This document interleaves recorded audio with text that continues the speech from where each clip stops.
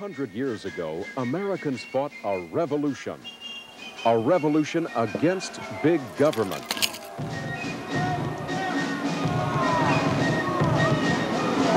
He has erected a multitude of new offices and has sent hither swarms of officials to harass our people and eat out their substance. George III and his bureaucrats taxed and controlled their lives until the people said, enough. Hey, the government in Washington, D.C. makes you nostalgic for old King George. The royal tax collectors took about 25% from our ancestors. This year, government at all levels will extract 50% of our money to waste.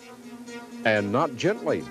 IRS agents use wiretaps, mail openings, informants, disguises, guns, chains, and jails to get every last dime. Meanwhile, at the Federal Reserve, 12 faceless bureaucrats decide your economic future in secret. How much the Federal Reserve, 12 faceless bureaucrats decide your economic future in secret. How much inflation should there be next year? What should interest rates be?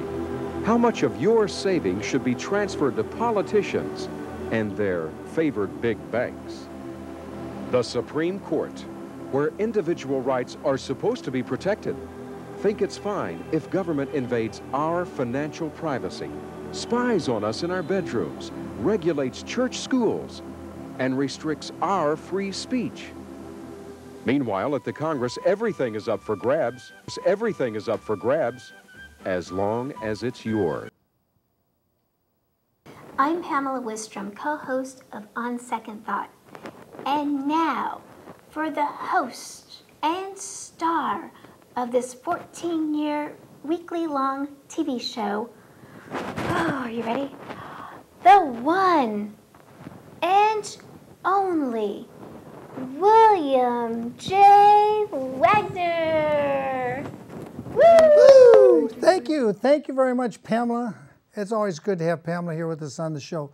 Tonight is a surprise live show on Friday because the city had planned not to let us do a live show. They were going to cover the farmers market that was just opening tonight. But guess what?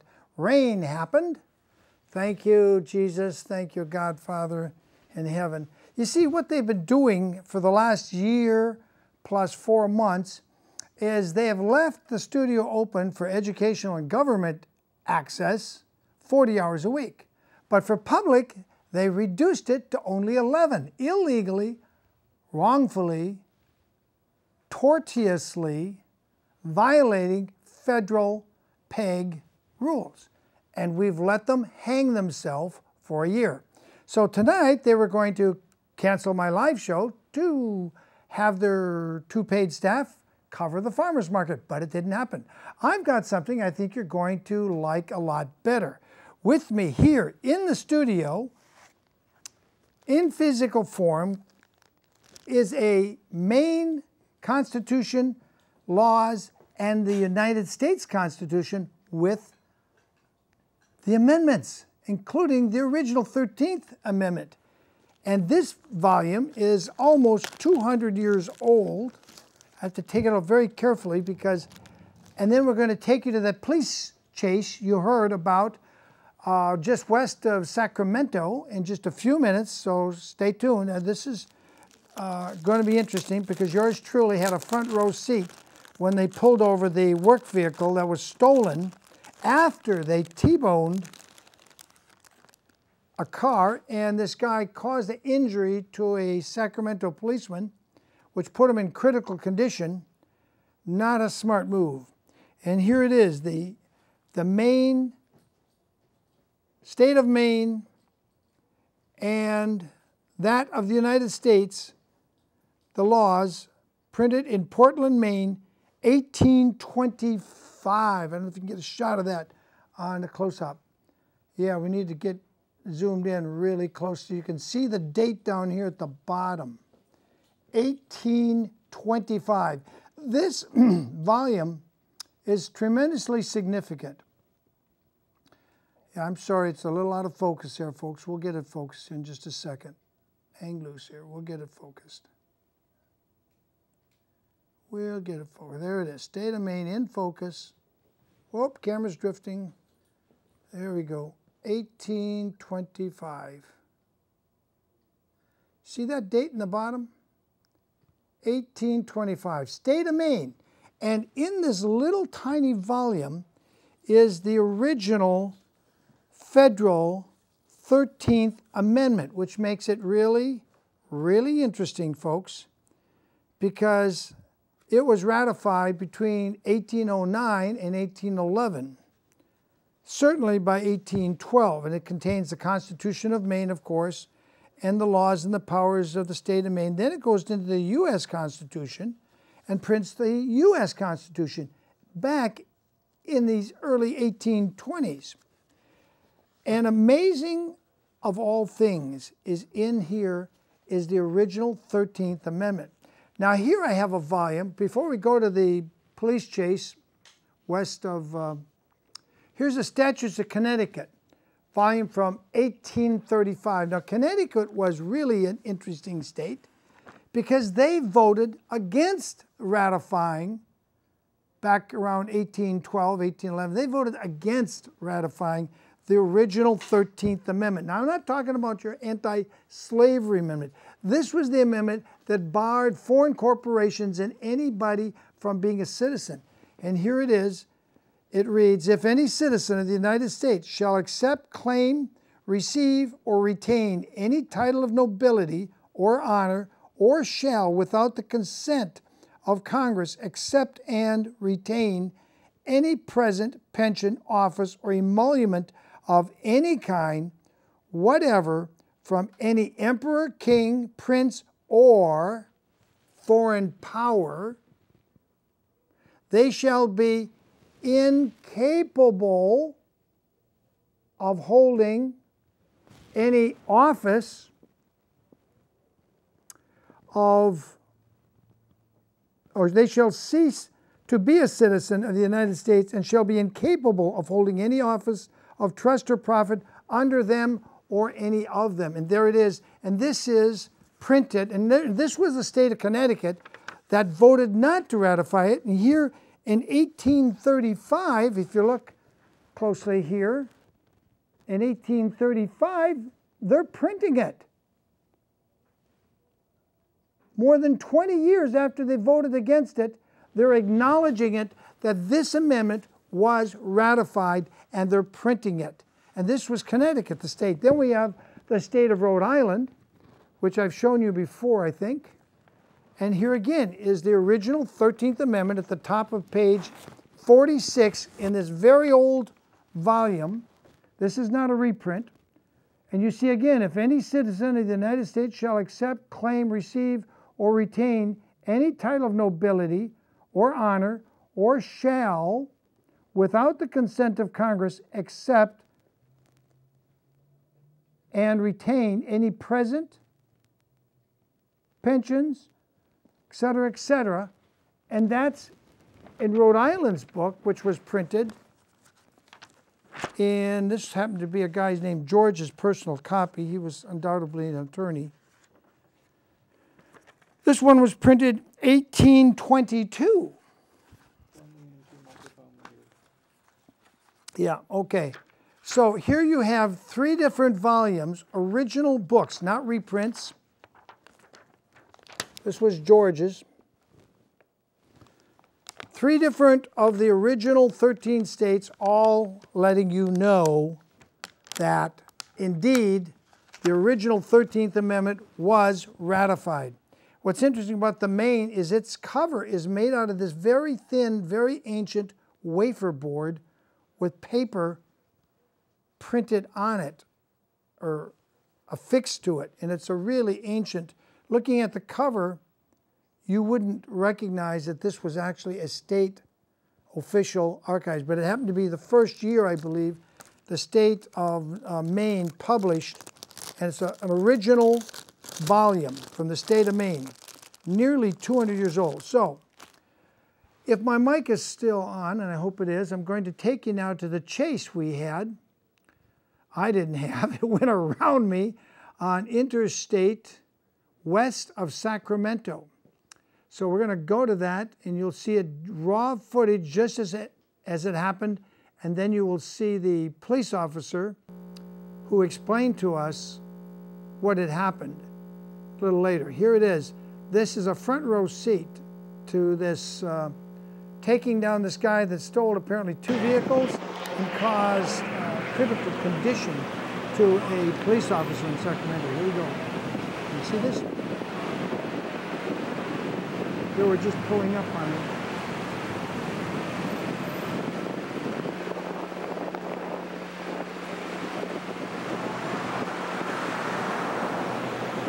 They had about 20 police black and whites pull up here.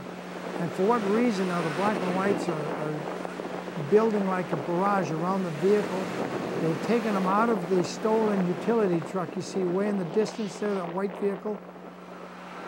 Um, and there was, a, I don't know, half a dozen of um, chip officers on motorcycles. I have never seen so many police vehicles, and as I drove down the road, I knew something was up because every on-ramp I passed for five or six on-ramps before we got to this situation, uh, there were three or four police vehicles waiting to rip onto the uh, freeway from an access road, and they were stopping anybody else from accessing the road. So I knew something was up. I just didn't know what until this white utility work vehicle went by me and two police cars, uh, CHP officers, were right hot on his tail. And I could see he had a blown out uh, rear tire, probably ran over a strip. And down the road, you can see it right there in the middle at the bottom. Uh, they forced him over. Uh, I believe they shot out one of his other tires, but I wasn't able to get close enough. But you'll see as we drive by here. This is a front row seat, people. I don't know why God blessed me to happen to be just there when all this was happening all around us. Um, all the traffic stopped at this point, and then they decided to let some of the vehicles go by. You see, they're still pulling in more and more black and whites are coming all around. They already got the guy. He's under arrest. They already got him in custody. What is it, a stolen vehicle?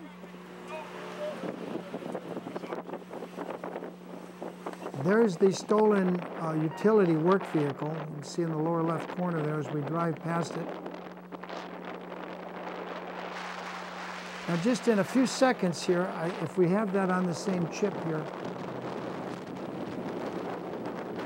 we're going to have a uh, CHP officer that was uh, spotting for speeders a few Holy miles down shit. the road. That's my driver, Angelina. Okay, I'm glad we're out of there. Bill was not... They had at least 20 police vehicles there. At least 20 police vehicles. And Bill was sleeping on the job and I don't know. I don't know what was going on, but it was heavy duty, whatever it was. Let's do. Yeah, at that point, people, we did not know. Yeah, I'm here in the studio. Okay, we're going to catch up and give you the CHP officer's explanation a few miles down the road. But I mean, you're seeing the raw footage. We haven't edited this. You're seeing it just the way I captured it and it just happened to happen right in front of me. I mean, I could have been anywhere in the state of California and hear this, this uh, event of taking down this uh, alleged criminal who allegedly put a CHP officer in critical condition in Sacramento. And this was just uh, Thursday, yesterday. So you're the first people to see this footage. Nobody else has seen this footage anywhere in the state. You got a bird's eye, close-up view, and now we're going to show you the police officer. We went over to the side of the road to ask him what had happened, because at that point, as you heard me say, I don't know what had happened, but I knew it was big time. And here's the guy. We'll let him speak for himself. Tell me again what happened. tell me, tell me what happened. So that hit and run that was in Sacramento that hit one of our officers, and That officer is in critical condition. That suspect then fled the scene after hitting that officer and carjacked another truck. That truck then Tell me what happened. Tell me again what happened. tell me, tell me what happened. fled southbound 113 onto our area onto 80 westbound, and we took him in custody after we spiked this car. Yeah. What was he high on drugs or you don't don't know. you don't know yet? Okay, well thank you for that because it was right in front of us. Oh yeah. All right, you guys be safe, okay? All right, thank you. That was what I'm glad. Well, there you That heard it, was, uh, people. CHP officer Uh, Parker that's gave where I get the my- lowdown on what just we just saw. We didn't know uh, a police officer had been badly injured by the guy running in that truck, which was another stolen vehicle he took. Call Nina. Yep. Uh, we're a little short-staffed here tonight, people, so um, bear with us.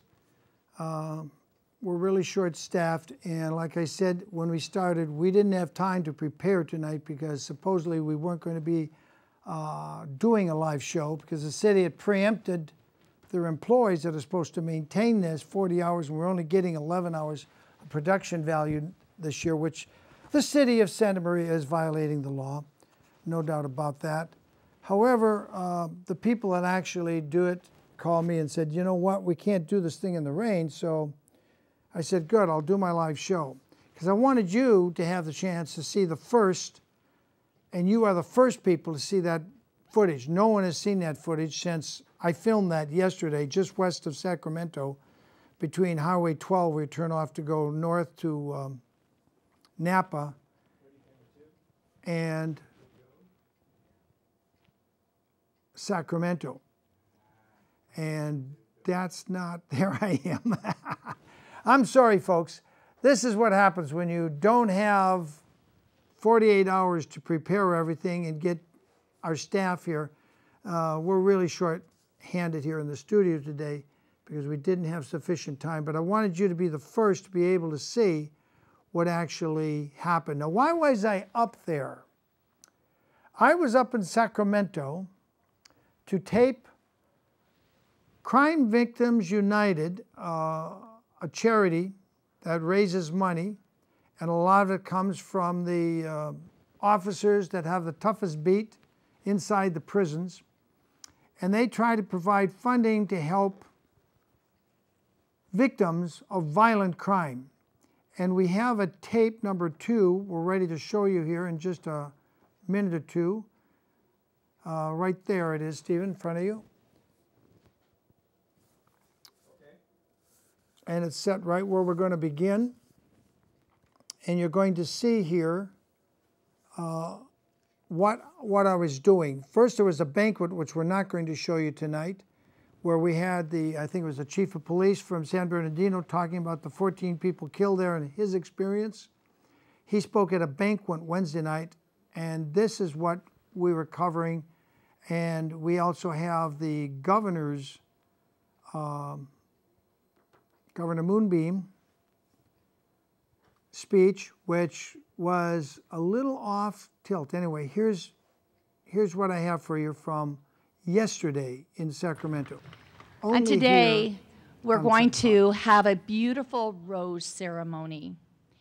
And what we're going to do is, in this moment of silence, you all get to reflect. I'm going to walk down in each aisle that I stand beside. I want you to stand representing your loss and all those that are here and maybe not here. And we're going to listen to the music, but we're going to also remain reflection and remembering of our loved ones and those that others have lost. The rose.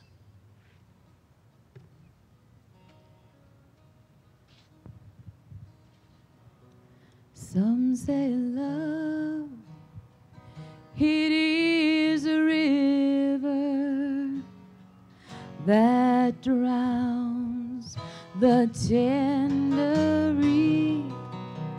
Some say love, it is a razor that leaves your soul to bleed.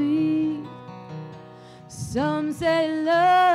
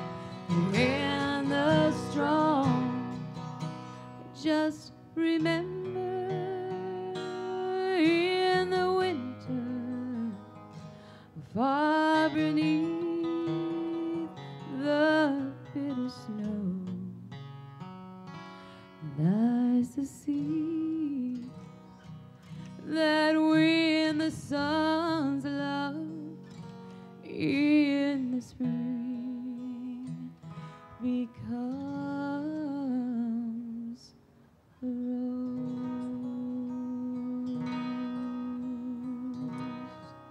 God bless each and every one of you.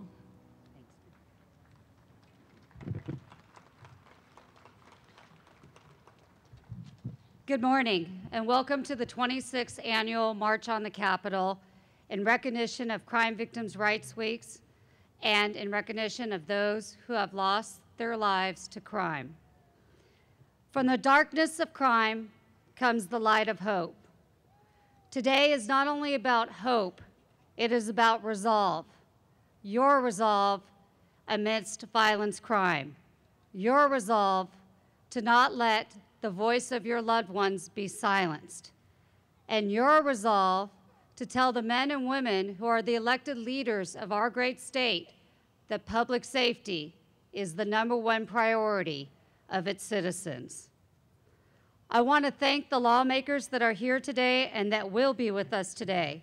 Senator Galgiani, Assemblyman Ken Cooley, the Executive Director Julie Novin of Victim Compensation, Honorable Jim Cooper, Melissa Melendez, Honorable Jeff Stone, and Honorable Steve Glazer, and the Governor, who will be joining us later today. I want to thank them for being here for your loved ones, but I also want them to remind their colleagues that sit behind us that we, the victims of crime, do not want to see another picture added to this march. That we, the victims of crime, want our rightful place in the criminal justice system, and that we, on behalf of all the families in California, want public safety to be the number one priority of this legislature this year. While we all recognize that the governor and the legislature have an enormous task here in California and balance many, many things, we also want the governor, the constitutional officers, and the legislature to understand that public safety cannot be a line item in a budget, that nobody should lose their life or feel less safe because of a budget item. In many communities, our police officers, our corrections officers are feeling overwhelmed because of the wave of crime. And now, with terrorism even entering into our state, foreign terrorism It is becoming overwhelming what is happening to our citizens in California. The governor and the members of the legislature over the next two months will be debating the budget for next year.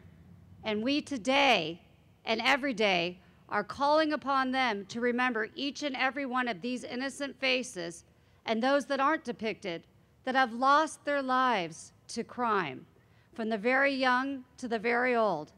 All of them were innocent lives lost to crime. And they should be remembered daily as we have budget talks, and public safety should not be compromised. With the, excuse me, with the rise in crime across the nation and California leading the way, we demand that the legislature put our families first. Without public safety, we cannot educate our children. We can't send them to school safely. We can't allow them to be children to play in parks. Businesses cannot function. Jobs are lost. Everything depends on public safety. It is the cornerstone of our society. So today, on behalf of all of California citizens, on behalf of your loved ones, let's urge this legislators to put public safety first, to restore to California and let California lead the way, not on the crime rise, but on the crime decline. We are asking that the legislators remember in their budget that we need adequate funding for police out on the street, for investigators, for parole agents, for corrections officers, prosecutors, bail agents, dispatchers, and so many others that protect our families. We ask that you, after this march, go into the halls and find your legislatures and simply leave a message that we want public safety. We do not want another innocent life lost. Together, and only together with your help on behalf of those innocent victims of crime and on behalf of others whose lives have not been touched with crime. Crime Victims United is asking you to stand with us today and demand that our legislator, our governor, and all of our leaders put our families first and restore to California safe streets. I thank you for taking the time on behalf of the chairwoman, Harriet Salarno of Crime Victims United, for joining us today. And I'd like to recognize a few people who are going to speak with you as well. I also want to recognize a very special friend of the victims who is here today. The president of the California Correctional Peace Officers Association, Chuck Alexander, is present with us today, as well as many of his men and women who walk the toughest beat in the state in our state prisons. They have been friends of the victims for over 30 years and I would like everybody to give them a round of applause for their steadfast support of victims of crime. And with that, another good friend of the crime victims, Senator Galgiani. Thank you, Nina, and thank you to everyone for being here today to honor and remember your loved ones and to be here in solidarity with other families who have also lost their loved ones to a violent crime. When a family loses a loved one, it changes their life forever. And I too know that because I lost my cousin when I was 17 years old. And I know that the pain never ever goes away. But I hope today that you can recognize that while you've been victimized, you are not letting your victimizer take and have power over you. Rather, you are taking the tragedy and you are turning that into strength. It takes a lot of courage to tell your stories, whether it's publicly or whether it's here in private today. And it's very painful to remember that, but it's important. And you are taking your tragedy and turning it into strength. And you're being part of one very large voice that's very, very important to constantly be reminding those who are decision makers in our state that nothing else matters if we don't feel safe. Our kids can't go to school, they won't be successful in school if they don't feel safe going to school. And if they're struggling because they've lost a parent or a sibling to a violent crime, again, nothing else matters when families don't feel safe. So thank you for being here today. Thank you for your courage, your strength, You should be proud that you're taking your loss and you're turning it into something that's affirmative that will help other families as well. Thank you.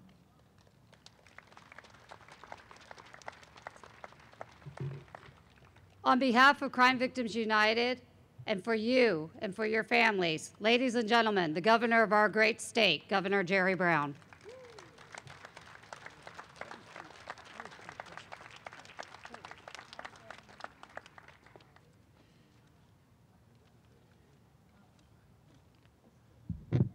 Thank you, and thank you, all of you, for being here and uh, keeping uh, in the forefront of our minds uh, what's happened in your lives and the tragedy of those who, whose lives have been taken in crime and the victims that uh, you memorialize.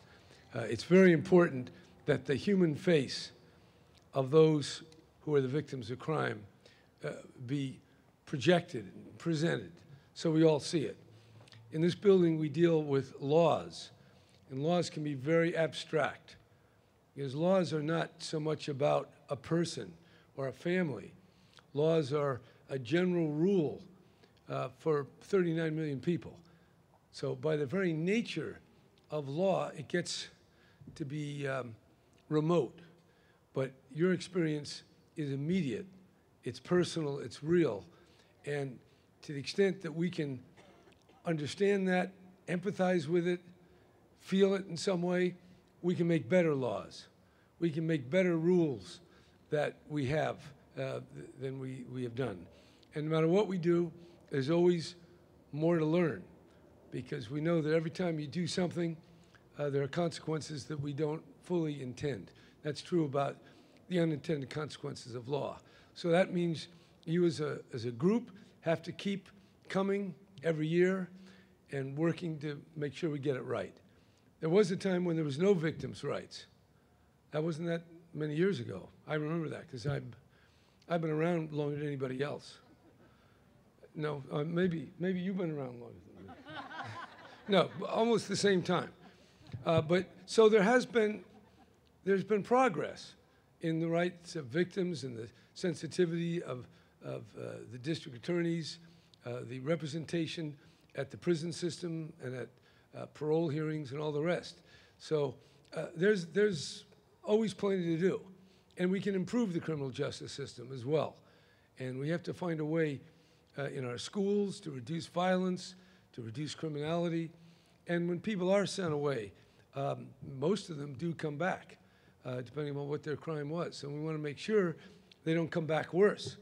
I'm speaking now not of so much of murderers as I am of the people who go to prison for five or 10 years, and then they meet gangsters and other people, and they actually develop even worse habits. So th then the prison does the exact opposite of what it's supposed to do. So we have to make sure that our prisons can be, in a very important way, transformative, so that people learn to re respect the law and not just respect the gangs which too often run the place or have undue influence. That's a true. So I don't like to say that, but it happens to be true. And it gets, given all of the rules we have, hard to control that.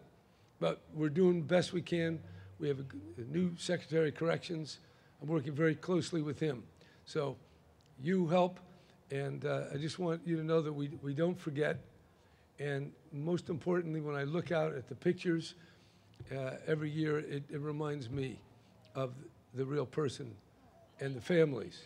Because most of the time, we're only thinking of the laws, and the laws aren't people. So there it is. I think, oops, the sprinkler.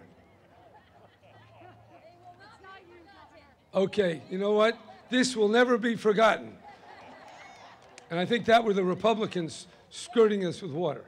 Can't we, don't we have any power here?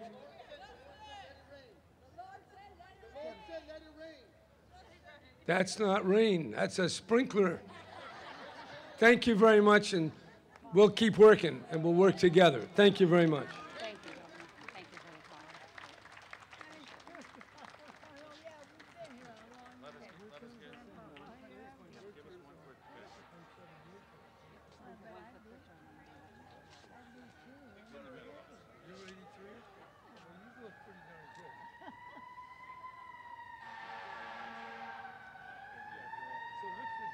All right, that was the governor's way of ending the drought. So with that, um, we're going to be taking some things out of order in deference to people's schedules, so please bear with me. But a very, very good friend of the victims, soon to be the head of the State Police Chiefs Association, has joined us. And I know he has to leave. Um, so, Chief Ron Lawrence, Rocklin Police Department.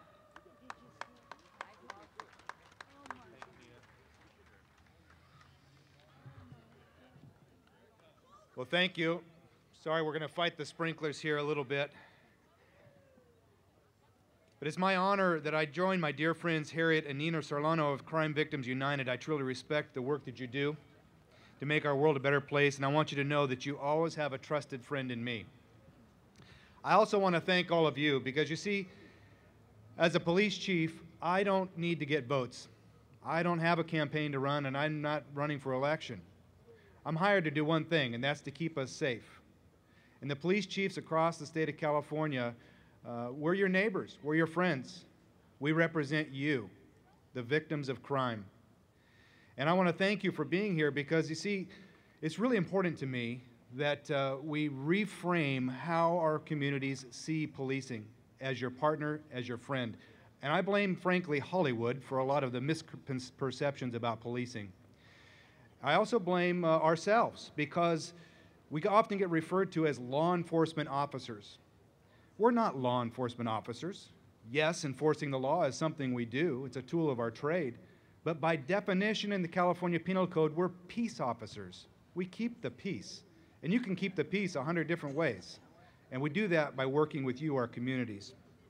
So I stand here today on behalf of the California Police Chiefs Association, representing more than 450 police chiefs across our great state who are responsible for protecting more than 26 million residents of the state of California. As police chiefs, we have the primary objective of keeping our communities safe.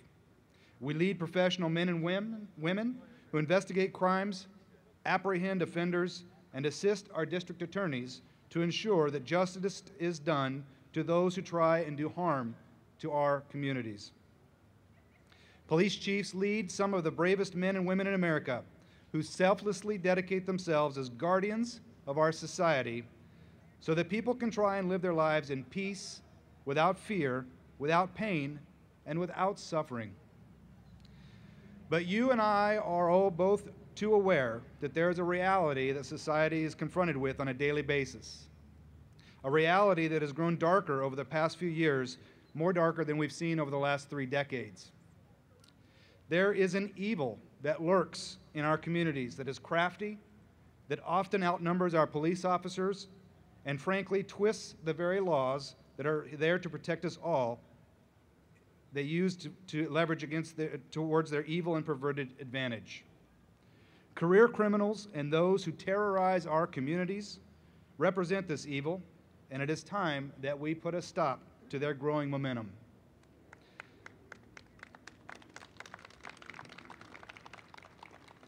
I believe that as American citizens, every one of us has an innate desire to feel safe in our homes and safe in our neighborhoods. Every one of us wants to raise our families in a safe environment, free from the evils that prey upon unsuspecting victims.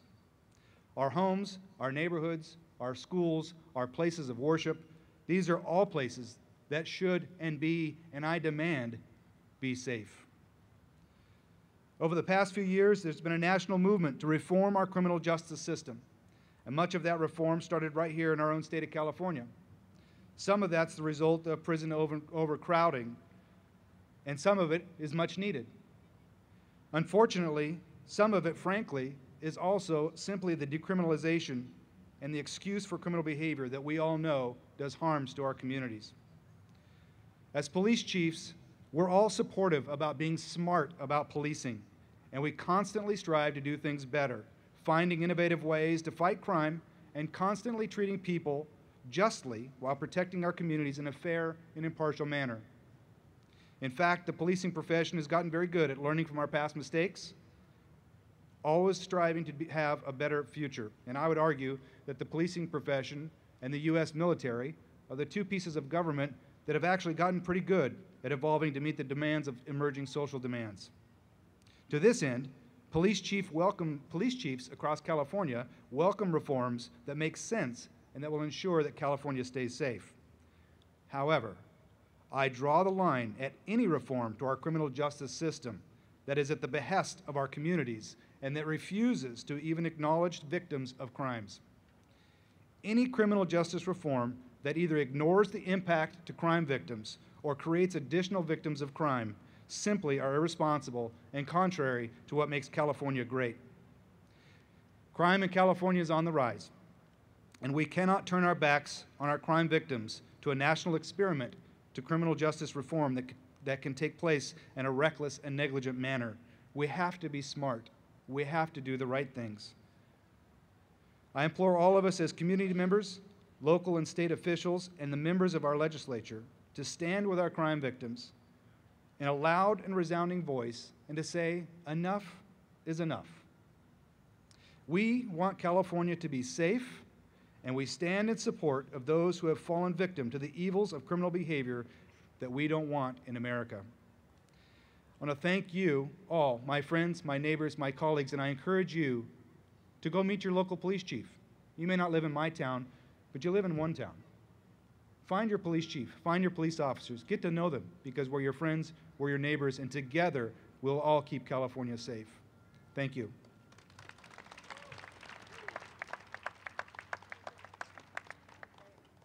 For those of you that have been here before and for those of you that are new, Crime Victims United has a long-standing history of awarding those legislators that have kept public safety at their highest priority over the last legislative year. Um, it is something we ask of them when they seek our endorsement, and it is something we carefully track through their years at the legislature. So we have two of our award winners present that I would like to honor. First, right from our home area here in Sacramento County, the Honorable James Cooper, California State Assembly.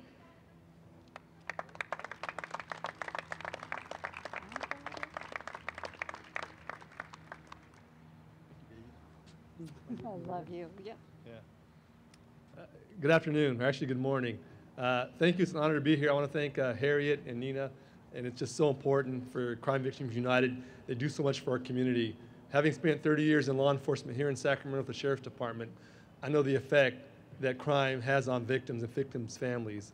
I've been to too many calls, too many times, um, seeing the faces of victims' families, and know that we stand with you in the legislature, and we want to make sure that first and foremost, victims' rights are met, and it's not doesn't regress, and that's the most important concern. So um, I'm going to just say a quick speech, and so thank you very much.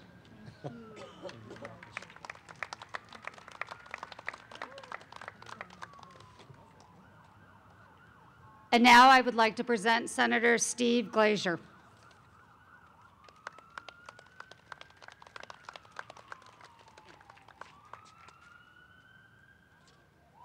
Good morning. Uh, I, uh, you probably have not seen me here before because uh, not that I haven't been supportive of uh, victims of crime, but because this is my, I just finished my first year in the legislature uh, last year. And uh, this is a particular honor to me to receive this recognition. I, I thank you for that.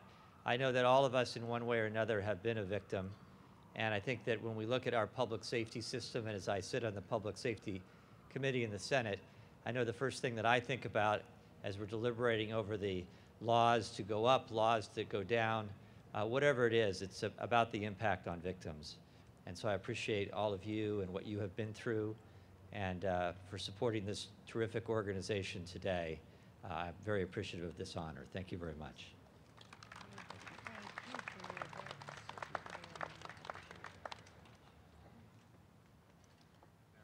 And on behalf of Crime Victims United, we'd also like to thank the Honorable Senator Jeff Stone.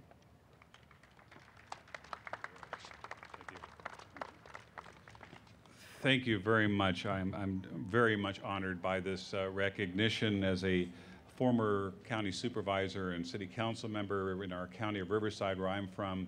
We have candlelight vigils every single year and bringing all the victims' families together to make sure that they understand that we we recognize the, the, the, pain that they have gone through and they're just not numbers they're just not face boards these are people that have been victims of crime So I want to thank you all for being here today.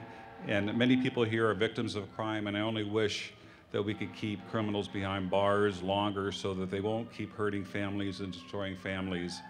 Our legislature's first job should be to keep people in our community safe, but I'm sad to say there seems to be a move to let criminals get out of jail a little bit more expeditiously.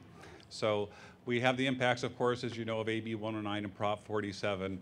Uh, my goal is to ensure that we have less victims and we give the public safety agencies the resources that they desperately need. Thank you again for the honor. Thank you all for being here in Sacramento. And I'm distinguished, uh, uh, I'm very honored to be honored with my, my colleagues here in the legislature that I partner with every single day and appreciate their dedication to public safety and looking out for the victims of crime. God bless you all. Thank you.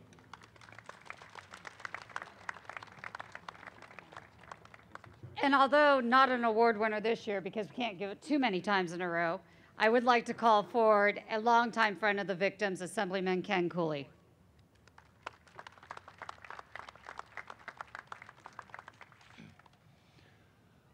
I just want to, as a member of the legislature and assembly member, express my condolences to all of you in your loss. And um, to just remark about the importance of this march on the Capitol. And this is an odd place. This is a very important place for you to come and to bring your grief. You know, a long time ago, somebody said if we share our joys, we double them. If we share our sorrows, we have them. We cut them down.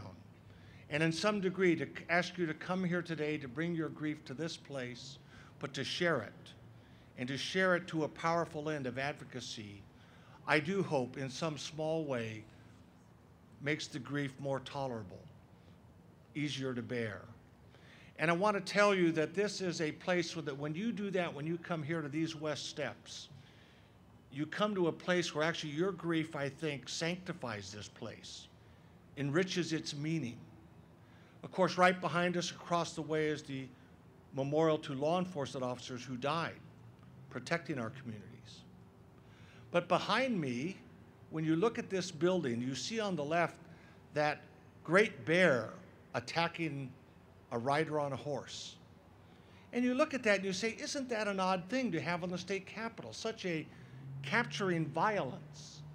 A bear attacking a rider on a horse, a very violent scene to commemorate on our state capitol. And that is actually there to remind us that the aim of government is to take this violence out of our life. The central figure in the little triangle behind me, if you look at her feet, you will see a bear's head poking over the edge. This is a picture that the role of government is to understand that there is violence at large in the world and to act so as to restrain it and subdue it. And this is your message today as you bring your grief to this space, this public space at the state capitol which reminds us of the violence at large and the role of government to subdue it, to restrain that bear so the bear lies at the feet of that central figure now.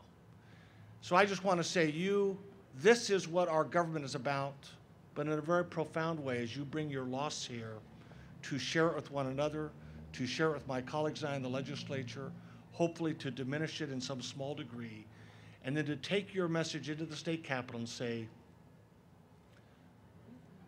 we were living life and it was fine. And violence came upon us out of nowhere.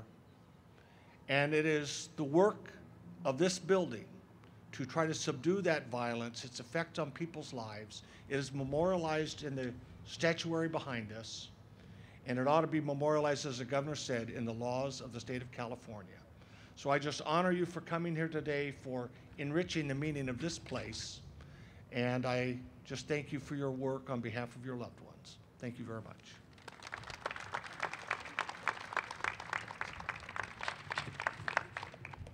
And our final award winner for her hard work over this last legislative year, Assemblywoman Melissa Mendez. Melissa Melendez, sorry. I knew I was going to do that. I know, it's a lot. Good morning, everyone. Um, I was, thank you for having me. I, they told me uh, don't go crazy with the microphone. You get two minutes to talk, so I'm going to try to honor that. I know you've had a lot of speakers this morning. Um, I will tell you, though, when I was first notified that I was um, being nominated for Legislator of the Year, I, uh, I, I couldn't quite understand why someone would acknowledge me for doing something that we should all be doing anyway, which is standing up for the rights of victims. But I am so grateful that you you took some time to be generous enough to acknowledge what I've been trying to do on your behalf up here. Um, I, my message to you today is simply this: that I know because I'm the vice chair of public safety committee, we hear a lot of uh, legislative ideas that, that have to do with victims and crime. Um, and I know firsthand that people get very uncomfortable when we start talking about what happens to victims and their families. And people don't want to talk about it, they don't want to hear about it. So, your job and mine is to make people uncomfortable. That is your job. Make them uncomfortable, make them hear what you have to say. Help them to understand what you've gone through and help them understand how important it is that we fight for those rights because you are the voice for the voiceless now, aren't you? I'm looking at the pictures. Uh, and, and I'm a mom of five. I have five kids, and it breaks my heart to look at these pictures. And it doesn't matter what your background is, what your race, color, creed, religion, I don't care. When you lose someone you love, it hurts the same as it does for anybody else. And you have a right to be heard.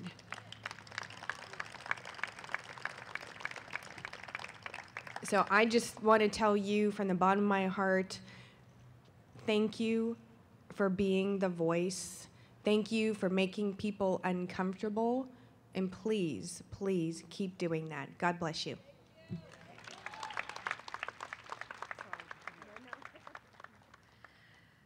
As we all know in our communities, to keep our children safe, it takes all of us, and it takes all of us partnering with grassroots, partnering with state government, partnering with every facet of the criminal justice system.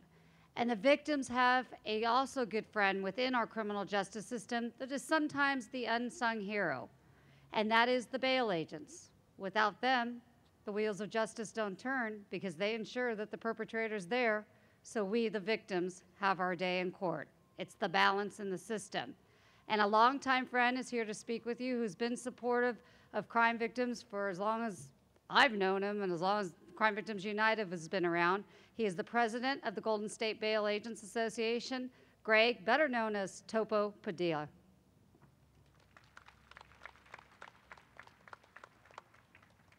Well, thank you very, very much. Uh, It is a very much an honor uh, to stand before you and to stand uh, with this building in the background to, to honor victims, but to hopefully make a difference. Um, as some of our greatest champions, and Assemblyman Ken Cooley and Assemblyman Cooper and Senator Galgiani right here, they are true champions. And I applaud you for staying here and being with us because uh, as long as I've known her, she's done great work for this great cause and victims. I've been involved in the criminal justice system for over 32 years. I started when I was 10. But uh, now I have been, I've been involved as a bail bondsman, and some may ask, why is Crime Victims United and the bail industry, why do we work together?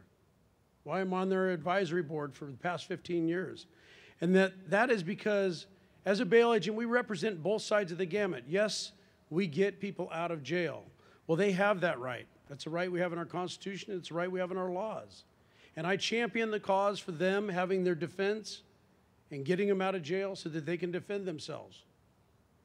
But the greater cause that we as bail agents champion is for our criminal justice system wheels to keep turning. There's many bail agents in and amongst you in this crowd today, and we champion that. And that is why when somebody doesn't go to court, we will go to whatever length it takes.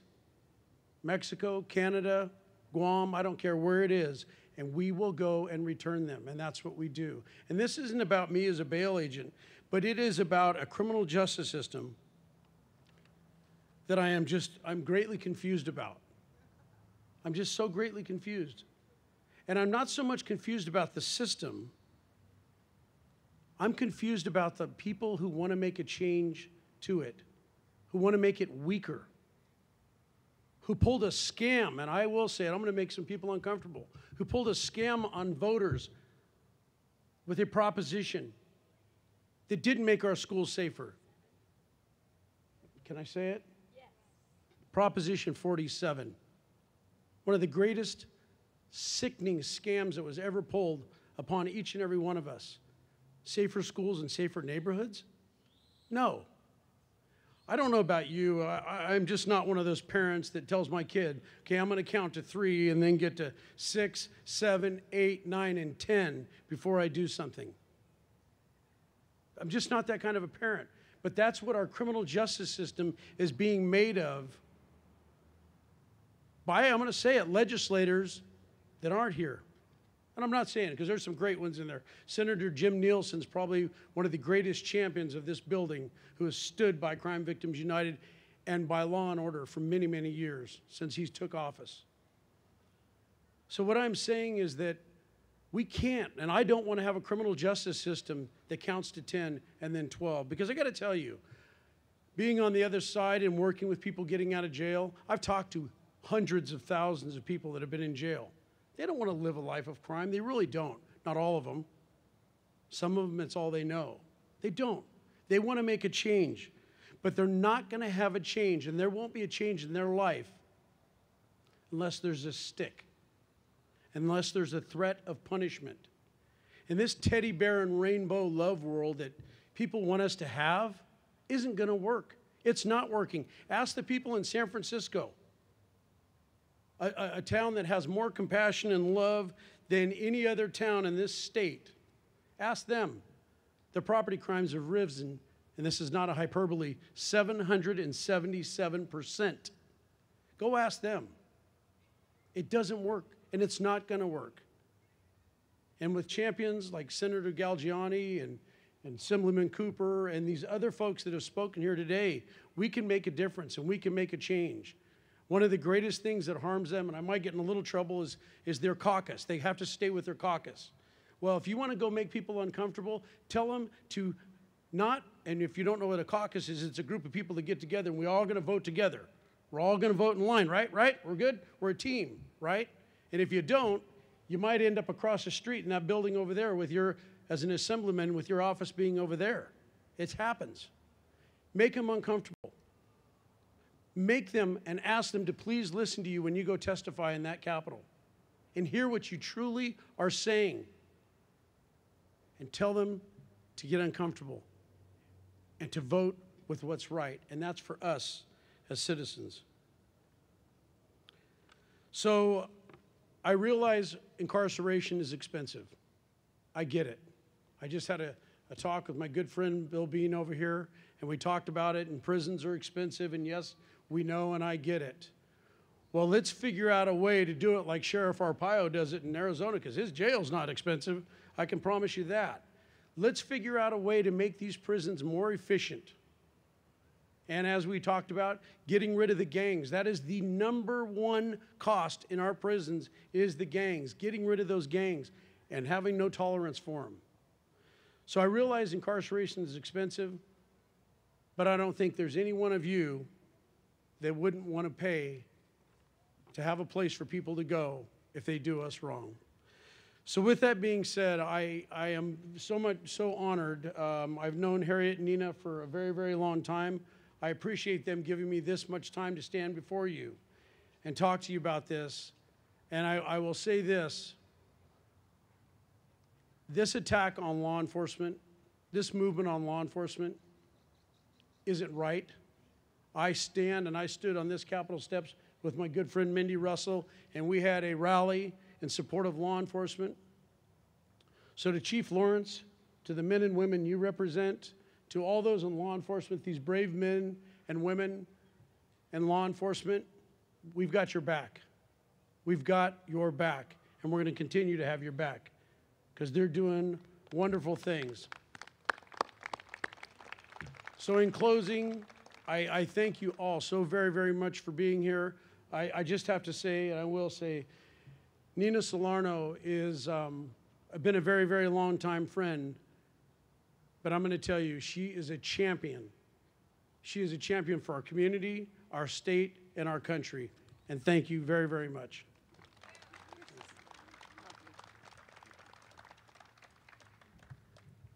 We all see the news daily, and I don't think any of us, we all feel when we see somebody that we don't even know that suffered a tragedy, because we all know what that feels like. Nothing ever makes you whole. There's not a day I know for each of you, because I know it, that in the 30 some years that hasn't gone by that I've never thought, not thought about my sister.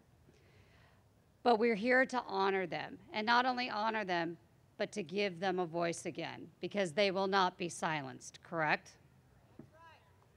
So, with that, it is my honor to introduce a woman who has suffered, like many of you have, and who's here to speak to you today when her young, beautiful, innocent son, JJ, whose life was taken violently just this past November. Ladies and gentlemen, Dr. Nicole Cavo.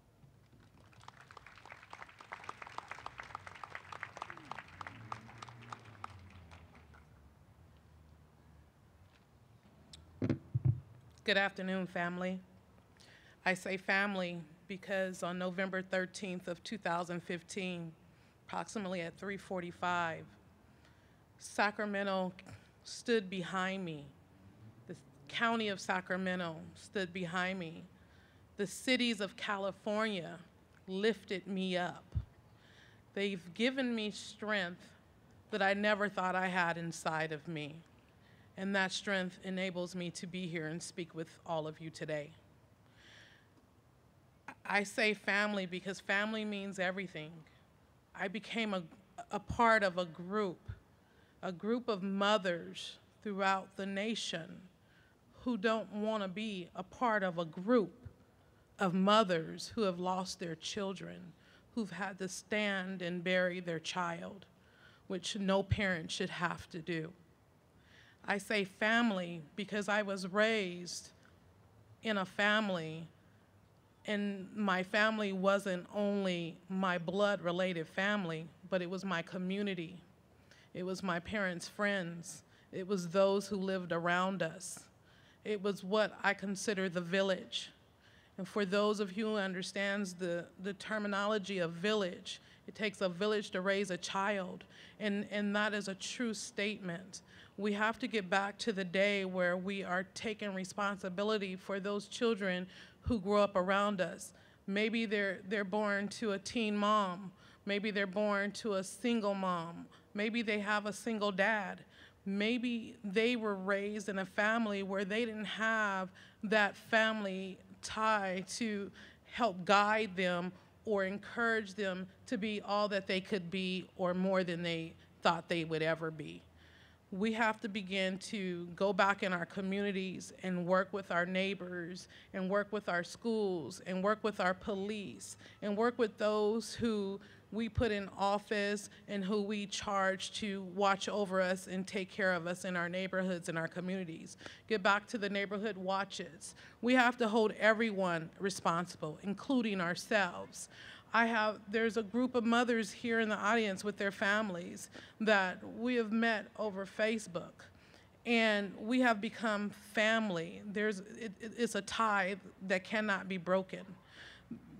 We are there to support one another. We have sleepless nights. It's a pain that none of us can describe, and we will never be able to describe. So when you see us, and you, you hear us. We just need you to stand beside us. There's nothing you can do for us. It's just be there to listen. Maybe there's no word shared. Maybe it's a look. Maybe it's a touch. Maybe it's an embrace. But just be there. We don't expect you to solve the world for us but we expect you to be there and just understand that we're going through something that we can't put into words, that we can't describe for you, that we can't move beyond. We have mothers here whose 16 years passed, nine years passed. I mean, November 13th is five months come this coming Wednesday. It will be five months for me. And I stand here. I stand here with these shades because I'm hiding the tears. I'm hiding the emotions. I am emotional not only for me, but I'm emotionally more for all those mothers that I know are out there that experiences the pain that I experience on a daily basis. But we get up.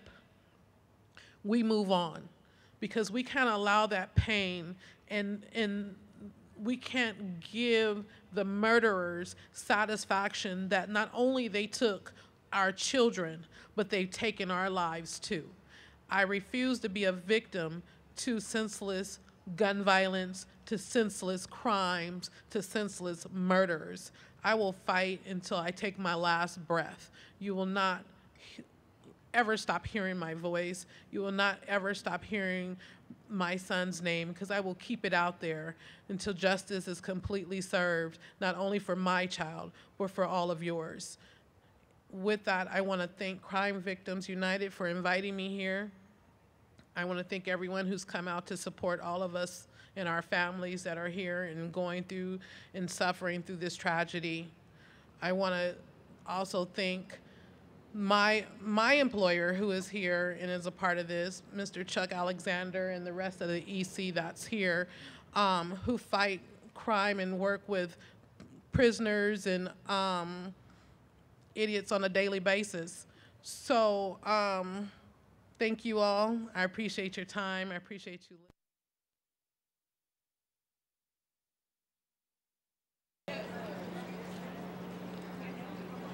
And um, we hear legislators talk about being tough on crimes. They're passing laws for more police officers. Those are great because we need law enforcement. But what happens when the criminal are arrested and sentenced? On the one hand, they're being sentenced and sent to prison. On the other hand, we're passing legislatures and laws to let them come out early, to be released early. Why? Because of overcrowding, overcrowding.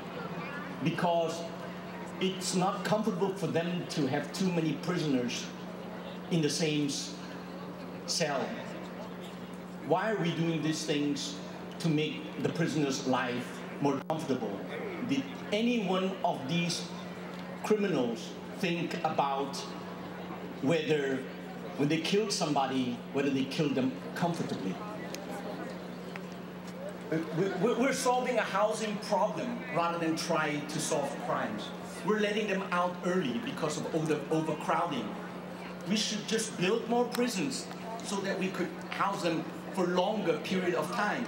If they don't want to stay in jail a long time, stop committing crimes. We have to put pressure on our legislators to be tougher on criminals rather than to make their lives more comfortable in jail. Thank you. And uh, again, there's nothing we can do about the release of our son's murderer. In our case, we saw firsthand the difference between the haves and the have-nots. The rich and powerful gets to be released because they are friends with people in power that can reduce their sentence, that can let them out early. We also found out that there's a big difference between law and justice. In our case, there was no justice. There were a bunch of laws in place, but we did not get justice. Luis, our son, did not get justice. We felt cheated. My wife said it best when she said that our son Luis was stabbed in the heart and killed. But after his death, Fabian Nunez and Arnold Schwarzenegger stabbed Luis in the back by letting his, one of his murderers coming out of jail much, much, much, much sooner than he deserved. Thank you. In close, the Santos family found great strength, worked with Crime Victims United, and AB 648 and Assemblyman Block, and I do thank Governor Brown on his first act of office in 2009 signed a bill to never allow what happened to the Santos family to happen to any other family in the state of California. And they amended the commutation so that the victim will always at least be heard. So ladies and gentlemen, I would like to, again, thank you for being here and again, honoring the Santos family is at least our last act as victims of crime that we can give to them. Thank you. Indeed. Victims of violent crime. And it was a sad, sad experience for me to walk around that whole setup. There was probably 500 faces with their names and date they were murdered. Um, this event was mainly sponsored by victims, Crime Victims United, financed by the guys that walk the toughest beat inside the most violent prisons in California. Thank you, and I salute you, officers. Which brings me back to that clip we showed you at the beginning of the show, where all these cops were chasing after a man who allegedly put a police officer in Sacramento in critical condition in the hospital uh, just yesterday. And we brought you that exclusive footage you cannot see on KCOY or any other network television. Uh, what you heard was the words from a grieving father. If you didn't understand what he was, we'll try to get another shot of him. But that was Luis and his wife, and his murderer, his son's murderer, was related to a state legislature. And Arnold Schwarzenegger, that all popular Terminator, commuted his sentence so that he got out of jail sometime before midnight last night. Now, we'll go to this clip. Be back in a few minutes. Pay attention. I hope you're watching with eagle eyes. With your loved one in the place where you honor them, or just take it home for your own strength every morning. But remember that Crime Victims United will be your voice here. We will be in those halls every day, and we will advocate for each and every picture that's here and for each and every picture that's not here because no innocent victim of crime will go voiceless. Crime Victims United will be here. Thank you again for today, and in closing, please join us with God Bless America.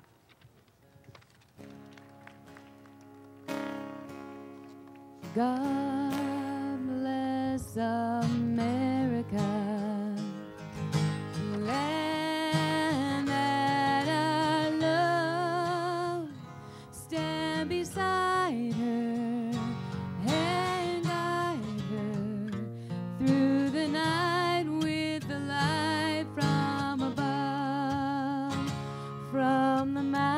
Mountains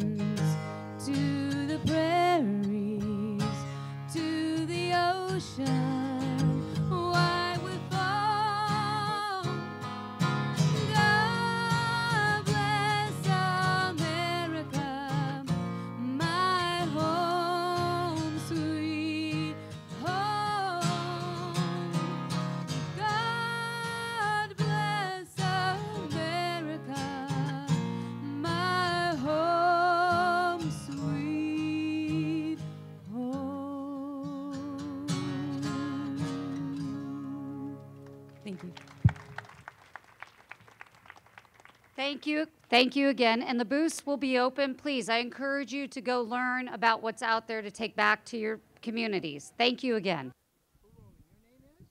LaWanda Hawkins, and I sit on the executive board of Crime Victims United of California. And I say that Cindy Brown deserves justice for all the injustice that she has endured. Is there anything your organization, Crime Victims United, can do for somebody like Cindy Brown, a financial victim of a scam? I'm quite sure we can refer her to places that will be able to assist her in getting justice because this is unbelievable. If they did it to her, who's next? I was with Cindy Brown when she went to the Orange County Sheriff's Department, which would not take a report. She went to the city, they would not take a report. They just said it's not our jurisdiction. So whose jurisdiction is it when she's had her ID stolen, her limo stolen, the equity out of her home stolen, and she didn't do anything wrong? She's just a gold medal Olympian from 1988. How is she going to get justice? I can't explain how she's going to get justice, but whose responsibility is is the people that we pay taxes to in her district. That's whose responsibility. If it's she's in the county, then it's the county's responsibility. If she's in the city, then it's the city's responsibility. But someone, does, she deserves justice, and someone needs to contact her and explain to her what the heck is going on or what are they planning on doing to resolve this issue. There's also other victims like uh, Valerie Lopez, that used to be a mortgage broker. Well, not only Cindy Brown, but Valerie Lopez has been evicted wrongfully from her house, and the crooked courts of Orange County refused to listen to her evidence. They refused to put the evidence on the record because then it could be appealed up to where the local crooked judge in Orange County could be overturned. This is another type of victim. But this event, Crime Victims United, that occurred Wednesday night was their banquet, and we'll bring you uh, that speech and that event on the next show. We won't have time tonight as we're getting down to the end of um, our time here on the live show. I uh, just want to tell you the website, if you want to go look at their website, it's crime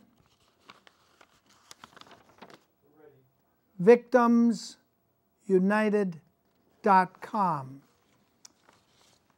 And Harriet is the chair of that charity. It's heavily supported by many police officers. And I hope some of you will say a prayer tonight for that CHP officer, which just yesterday was put in the hospital in critical condition because of the alleged criminal who you saw in that uh, chase where they came to the end of the chase on the interstate just west of Sacramento that I captured for you.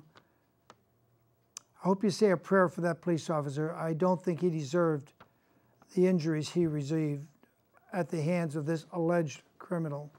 Remember, he hasn't been arraigned yet, um, but I hope he had his um, probable cause hearing and they crossed all their T's and dotted all their I's. I want to mention uh, again another victim, Anthony Barajas, B A R A J A S. On Sunday, June 28, 2015, at approximately 11:20 a.m., this victim, Anthony, was shot and killed by an unknown assailant as he was driving on Meadow View Road. The police and the victim's family still need your help. If you know who's responsible for his murder or have any information in this case, please call the Sacramento Police Department Homicide Unit Detectives at 916 808 0677. There's a, you can see Anthony over here. He's um, quite dead, and they haven't got his uh, perpetrator in custody as of yet. Um, but do pray for that police officer in Sacramento that he get complete healing. Now I got another clip from the same event yesterday I'd like to show you, and then we'll be ready to bid you adieu. I hope you enjoyed tonight's show because you got exclusive footage never seen anywhere before. Thank you for watching. Watch this. We're not quite done yet. He was cheated out life by a group of thugs, and he was cheated out of justice due to some well-connected killers. It's been very hard. This is the year he would be turning 30 years old. This year his friends are getting married and having children. It's very tough to live through that and be happy for his friends when we know we are cheated out of such joy for him and for our family. We're, we're here today not just for um, ourselves. Yes, our son's murderer will be released as early as midnight tonight. But if you look around us, this is what I, I think it's upsetting me more than anything else. You, you look at all the pictures of all these victims their families. This represents many, many, many broken hearts. And um, we hear legislators talk about being tough on crimes. They're passing laws for more police officers. Those are great because we need law enforcement. But what happens when the criminal are arrested and sentenced? On the one hand, they are being sentenced and sent to prison. On the other hand, we are passing legislatures and laws to let them come out early, to be released early. Why? Because of overcrowding, overcrowding, because it's not comfortable for them to have too many prisoners in the same cell. Why are we doing these things to make the prisoner's life more comfortable? Did any one of these criminals think about whether when they killed somebody, whether they killed them comfortably? We're solving a housing problem rather than try to solve crimes. We're letting them out early because of overcrowding. We should just build more prisons so that we could house them for longer period of time. If they don't want to stay in jail a long time, stop committing crimes. We have to put pressure on our legislators to be tougher on criminals rather than to make their lives more comfortable in jail. Thank you. and uh, again, there's nothing we can do about the release of our son's murderer. In our case, we saw firsthand the difference between the haves and the have-nots. The rich and powerful gets to be released because they are friends with people in power that can reduce their sentence, that can let them out early. We also found out that there's a big difference between law and justice. In our case, there was no justice. There were a bunch of laws in place, but we did not get justice. Luis, our son, did not get justice. We felt cheated. My wife said it best when she said that our son Luis was stabbed in the heart and killed but after his death, Fabian Nunez and Arnold Schwarzenegger stabbed Luis in the back by letting his, one of his murderers coming out of jail much, much, much, much sooner than he deserved. Thank you.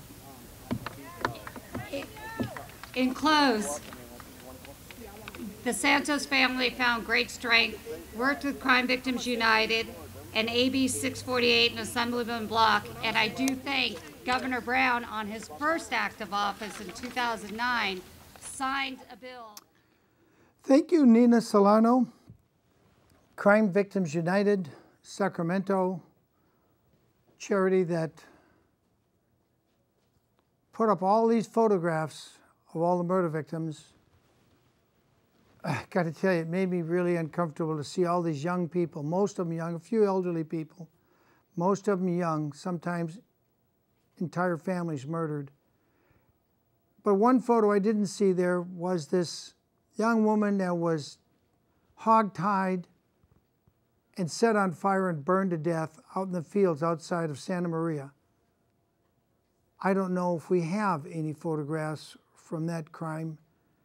But that crime was committed by a bull dyke lesbian because this young woman indicated she wasn't pro lesbian and she was being forced to do prostitution by the bull dyke and turn the money over to this bull dyke. Now, the bull dyke went to a female prison for probably the next 20 years. I would have liked to have seen a decent picture of that victim, that young woman who implied to her that she liked heterosexual prostitution, but not uh, lesbian prostitution, and ended up being burned to death in the fields just west of Santa Maria.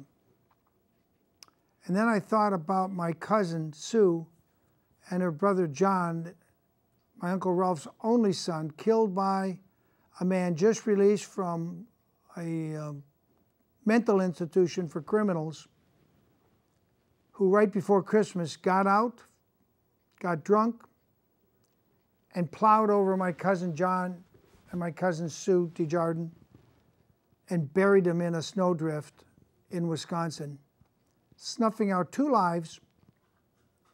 And I think they simply returned him to the uh, mental prison. But my Uncle Ralph and his wife Aunt Tootie, they were never the same again. And I remember that Christmas back in the early 1960s. It was a sad Christmas for all of us. These kind of events changed our lives. Now we'll go back to the uh, police chase, and I thank you for listening and being with us this evening. Give uh, Kelly Reed a call if you want to uh, express anything or donate anything to Crime Victims United. Kelly Reed, 916 276 1867. Give her a call. And tell her you saw it here on Second Thought Television. I'm William Wagener, taking you back to that uh, end of a crime spree by the guy that put a police officer in critical condition in Sacramento just yesterday. Thanks for watching.